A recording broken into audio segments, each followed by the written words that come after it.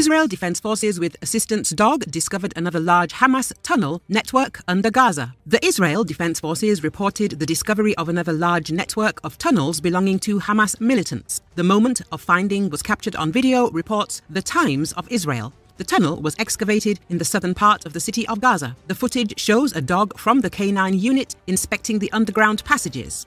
The network is hundreds of meters long and includes command centers, storage facilities, and large recreational areas with electricity, communication lines, and water supply. The Israel Defense Forces discovered the tunnel after engaging in combat with Hamas militants at the main facility belonging to the terrorist group in the city of Gaza near the Al Quds hospital.